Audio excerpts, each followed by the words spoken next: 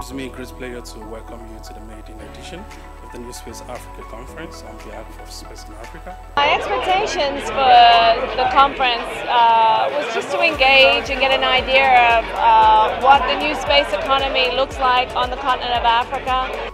Kenya is a hotbed of innovation and entrepreneurship.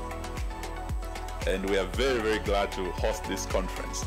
A report that came out last year and it's really SDG 1, 2, and 3. So that's poverty, hunger, but also uh, health and well-being. And as we look at the research, we know that all of the SDGs are really interconnected particularly SDG 1 regarding poverty, and it's connected to 10 other SDGs, which I think is really critical, especially as we think about designing projects and the use of space technologies to ensure that we're not overlapping uh, on initiatives. Probably the best conference that I've attended. Um, I've met, you've been able to bring space agencies from Angola, from Rwanda, uh, you've had people coming in from South Africa, from Kenya, obviously, uh, hosted here.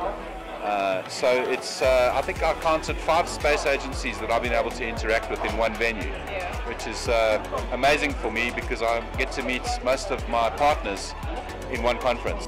For a private sector player, the entry level is a lot lower, right?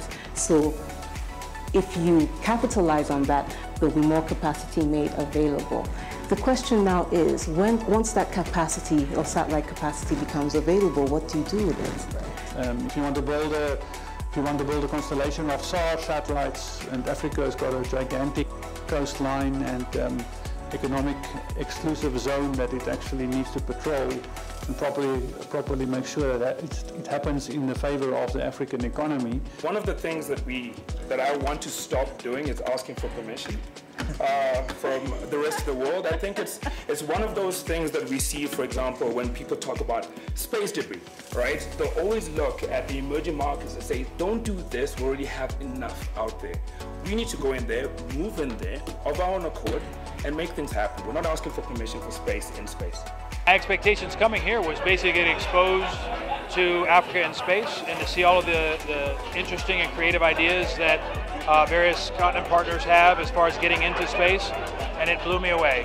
Uh, having the opportunity to sit at the same table with heads of agency, uh, speaking with them, you know, just person to person, was, was more than I had ever hoped for, and so Space in Africa has done an absolutely phenomenal job of kind of setting the bar really, really high uh, for all spacefaring interest here on the continent itself.